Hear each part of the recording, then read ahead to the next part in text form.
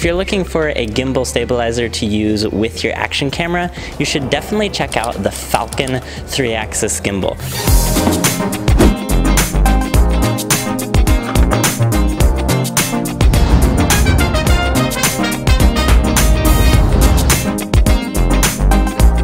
This is a very small but powerful gimbal that's specifically designed for action cameras. So as you can see here, it has the action camera style mounting plate, and so that makes it compatible with just about any action camera. I'm sure maybe there's some obscure brand out there that doesn't work, but all of the name brand stuff like GoPro, Insta360, Osmo, all those are gonna work great with this gimbal. The latest action cameras like the GoPro Hero 9 have really good in-camera stabilization, so you might be wondering like, what's the point of even having a three-axis gimbal if the camera can already stabilize the footage? Well, one of the reasons is that the in-camera stabilization is digital stabilization, and the more digital stabilization you apply, the less resolution you have. For example, the GoPro Hero 9 can shoot at a maximum of 5K resolution, but then when you add image stabilization in camera, it will digitally crop into that video so that the digital crop can move and turn in order to compensate for the vibrations and movement of the camera.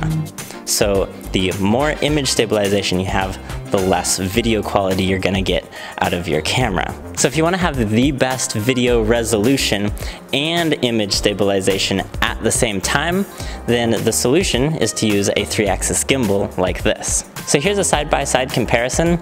On the left, I have the GoPro with the maximum amount of image stabilization turned on in the camera, but I'm just filming handheld video.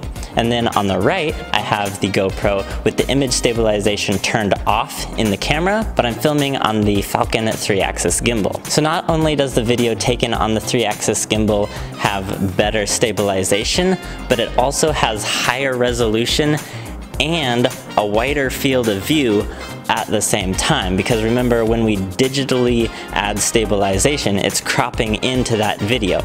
So not only is it losing resolution but you're also going to be losing that super wide field of view that the GoPro is capable of. So even though cameras these days have really good built-in image stabilization a 3-axis gimbal is still a really useful tool, especially when you're trying to get the best video quality possible out of your action camera. I really do recommend this Falcon 3-axis gimbal. It's super user-friendly. It also feels very high quality. Like these pieces are made out of metal. The handle is plastic, but all of the moving parts of the gimbal up on top are made out of metal. And so I feel like it's high quality and it's gonna last me a long time. It also has quarter 20 threads here on the bottom. It does come with this this little mini tripod that can screw on the bottom here. And it's just really nice to have these quarter 20 threads on here. And that way you can hook this to any other tripod or to the end of a long selfie stick. I really like doing that. I'll connect my action cameras to the end of this really long selfie stick that I have. And then I can get shots that almost look like they were filmed with a drone, but they were actually just filmed with my action camera on the end of a long pole.